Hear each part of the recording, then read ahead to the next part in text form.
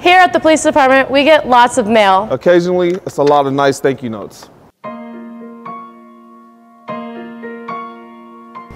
Thank you for your sacrifice. Thank you for serving our country and sacrificing your life for us and the hard work you've done.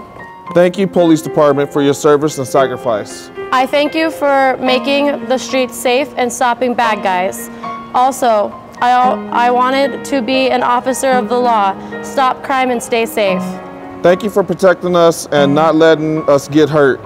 You guys are the best in the whole world. I am so, so, so, so very glad we have you guys. Thanks a lot. Thank you. Thank you for your service. Thank you for keeping my family safe. Thank you for all your help.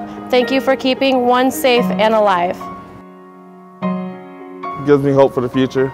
Everybody out there is not bad. Some people do love us. Makes me feel good. Makes me feel this is why I chose what I uh, what I chose and the path that I did. It's because there's people that uh, thank you for your service every day.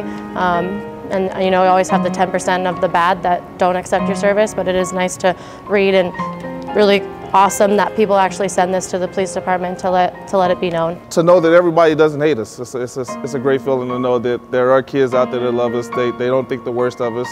So it's really nice to hear a thank you every now and then.